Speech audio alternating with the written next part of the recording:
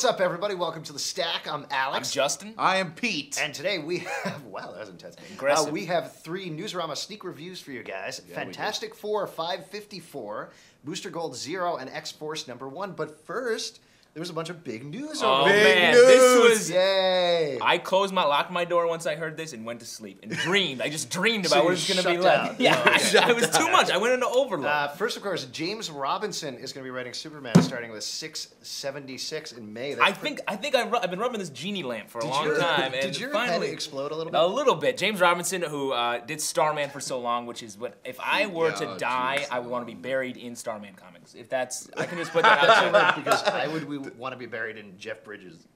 What inside? wait, wait. Different Starman. That doesn't make st- that doesn't Wrong coincide. Starman. Would Yeah, you yeah, like yeah, to be yeah, buried yeah. inside Jeff Bridges, like a turducken? Yeah, but it would be like a Bridge Zalbin. That's Oh, disgusting. Man. right, we'll talk that's about that gross. later. Uh, also, Geoff Johns, of course, re-upped his exclusive with DC, Yeah. which is really awesome. It's good Yeah, because it he is. does everything at DC. That's great. They Who's gonna make the coffee? titles? Yeah, Did you know? Yeah, he does that. Yeah, and it's he, Uh, he amazing. makes his own bagels too. which is really that's the extra Uh, care. And uh, the third thing, which I thought was pretty much the most awesome news, uh, is Kurt Busiek and Mark Bagley, Bagley, sorry, are going to be doing Trinity, which is going to star Oh, uh, The new Won- weekly series. new weekly series, Wonder Woman, Batman, and Superman, and they're going to be doing the main story, and there's going to be a bunch of backups. Awesome. Can't That's wait. crazy. That, Yeah, I That's can't crazy wait. that they're Big news. Two guys going to be doing a weekly series. Yeah, they're gonna be tired. They're going to sleep. I- they're going to shut down, just like you. Out of joy. Yay. Check out newsarama.com for the full stories. Yes, absolutely. Uh, and speaking of Newsarama, here's your Newsarama sneak reviews, starting off with Fantastic Four 554 by Mark Yes. Millar and Brian Hitch. Hitch. New Yeah, team, yeah. new team. New team. What'd you guys think about this? There's a lot of anticipation for this title. Definitely harking back uh, to the classic. Uh, they pick up with a little time traveling Yeah, episode. Just like, oh, they're so fun. Um, you know what? I'm gonna I'm gonna start this off by saying, generally speaking, I liked it, and there were some really cool things. It was really great. Wait, no, I love uh, Millar. I love Hitch. Art is awesome. Writing's generally pretty good. It was really expository, pretty Yeah. much across the board. There was a lot of like, "Hey, we're the Fantastic Four, and this is what we do." Yeah. I feel like that they need to do that though. In case, Really? well, people Do you don't- feel like people don't know who the Fantastic Four are? No, but I I feel don't like know they're who trying those to people appeal are. to people who've been reading like the Ultimate Universe with this, maybe, and they're trying to bring it around. I think you're trying to dig a hole here. I don't understand what you're talking about at all. Yeah, you're trying to dig a hole, but you're unsuccessful. at digging a Yeah, hole. that's right. It's on cement. Also, uh, I think the issue built out of the kind of the kind of campy Fantastic Four into something where you It can tell they're moving campy. forward. It was Yes. definitely Um. No, that's totally true. I mean, I love the end of the issue. I Yeah. love where they're going with it. It's really huge, really big stories. Yeah. It's but just- I understand as a Fantastic Four fan, it's Yes. frustrating to be like, yeah, we know who the thing is. He's Yeah. ugly. We He's get big. it. It's yeah. fine. Yeah. Reed Richards is smart. Thank you. All right, no, in this issue there was a that panel where it was like he's dreamy, which yeah, I thought was is so great, funny. Actually, It- it- there was some, as I said, there were some good moments. Definitely pick it up. Yeah. Uh, Booster Gold Zero. Finally, a zero-hour I, tie-in for I, Booster I Gold. wanted Yeah. to talk about it. but yeah, no. well, talk about Booster Gold. Okay, yeah, Booster Gold Zero. I'm not a big fan of the Zero issue, but this was had a lot going on. It was nice to see the old Blue Beetle with the new Blue Beetle. I thought that was kind of And fun. another Blue Beetle. Yeah, Yeah. well.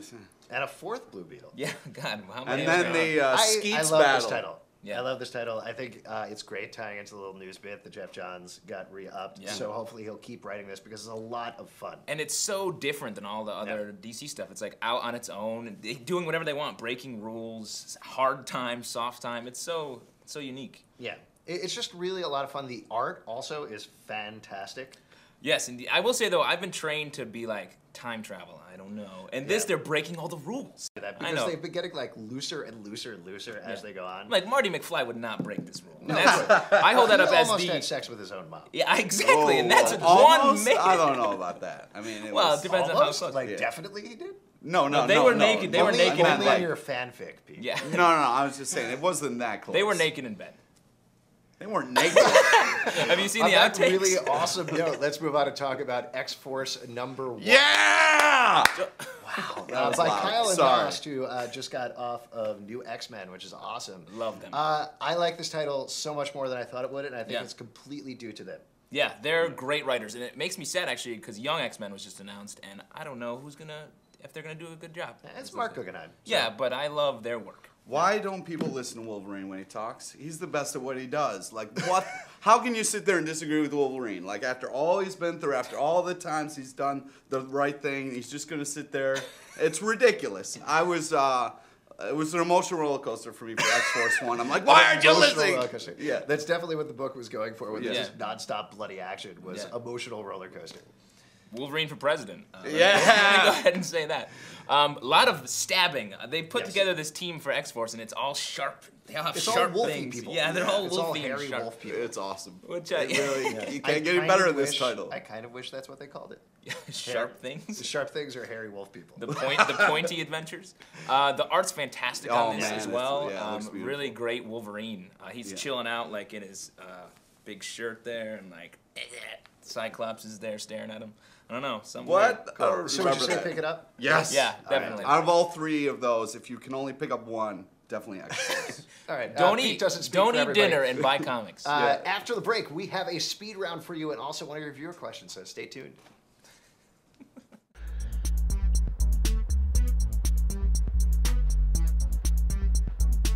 What are you doing? I'm trying to communicate with the hosts of the stack via telepathy. Could you please be quiet? I want to tell him I like the show. Sorry. Telepathy is cool and all, but we think uploading a video comment or sending an email to tips at pulpsecret.com is a lot easier. But hey, it's your call. Hey, what's up, everybody? Welcome back. It is Yeah. time for the speed round. new speed round style. This Not is angry, new. This is kind not of like loud, ninja not speed aggressive. round. Yeah, trying there's no appeal to the yelling. It's- crowd a little yeah. Yeah. So, all right, On Pete, Fox did you- Sports. Zoom. Oh, Scud 21 is a fantastic issue. If anything, pick it up for the way it's drawn. It's amazing. Black and white. There's no like real panels. It's all uh, really well done. And it's a lot of fun and funny. Uh, Star Wars Rebellion number 11. Uh, we have never been readers or commentators on the Star Wars comics, but uh, you guys asked for it, so uh, I picked it up. And it's uh, it's a cool read. It's definitely playing in the universe. Uh, I liked it. I want to learn more about it. Awesome. Doktor Sleepless, number five. This series has been totally off the rails not so far, and this is the first issue where I really feel like it actually started to settle down and bring everything together, and we started to get a little hint of where Ellis is going. So definitely pick it up.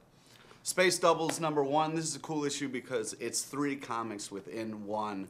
Uh, my favorite was the one page one in the middle called Pickle Patrol. It was hilarious. Teen Titans Year One, number two. Uh, I like this. The first issue, I was a little hesitant to get on board because of the whole Year One thing, but this is cool. Uh, the art's great, and I like the story they're building. Awesome. All right, time for a viewer mail. Uh, Brad asks, how important are fights and physical action to superhero comics? And, uh, down. Uh, and are they more important than characterization moments? Uh, should superhero comics insist in inserting action fight scenes even if the story itself doesn't call for it? Yes! God, are you kidding me? Uh, fight sequences make comics. It's the, why we love uh, superhero comics so much. It's amazing. Why that love being it. said, that being said, um, s- a well-written comic does not necessarily need a fight sequence. So it needs fight sequences, but it doesn't need Yes. fight Yeah, if you're gonna be like, you know what, I'm just gonna write something that's amazing. Whenever my life gets boring, I go out and pick a fight with a stranger. Yes, Yeah, you know? exactly. I That's the will way I point live. out, uh, we didn't mention it in the question, but the guy did bring up in his letter to us uh, Green Arrow Black Canary number four, which had no fight scenes at all, and you loved, right, Pete? yeah, well, Yeah, it was what's up with emotional. that? Yeah, Yeah. deal with that, Pete. Well, I mean, I mean, yeah. There's exceptions to every rule, but uh, you know, when in doubt, throw in a fight sequence because uh, just they're fun. Just They're- like anything they're in a good good time. story, as long as it's supported, like you Exactly. want to see a fight that it's been built up to and it means something. Like when you see like like I'm sick of seeing people fight Hydra. Like no no one ever thinks Hydra's like, oh no, what's gonna happen? Is Hydra gonna win? And no, Hydra's never gonna win because the point of Hydra is you kill them and two more take their place. yeah. I would say I'm sort of halfway, not halfway between, I agree with both of you guys, uh, that, You are so positive. yeah, love it. well, everything is awesome. Except So for Jeff Bridges, because you're gonna crawl inside him and die. just wanna, Oh like, man, I was hoping we wouldn't go back there. I was really hoping great. we wouldn't. Uh, yeah, I, I do think that action sequences are they're part of the superhero genre. They're enjoyable, they're fun, but I agree they need to be based in character like everything else, or there's no point. yeah. Yeah, but at the same time, if you are gonna write something and just kind of have like a random guy walking down the street and a superhero punches him, that would be enjoyable. That would be pretty cool. All right. Uh, if you guys have a question, you can call us at 888-841-7549 or write us at tips at pulpsecret.com. And you can upload your video responses on YouTube or comment right here below the video. Who's saying what? I don't know. Uh, we'll see you next time, guys. Tone, leave a message. We'll get back to you. Yeah, I don't think graphic novels will ever really replace uh, monthly comics. It's like asking the question if DVDs of TV shows will replace the air, first airings of the TV shows. I mean, you have to have the airings of the TV shows for the DVDs to be worth anything. graphic novels are gonna replace monthly comics because I've never gone into a comic book store where I didn't feel like such an outsider that like you know, I don't feel judged walking to a Barnes and Noble.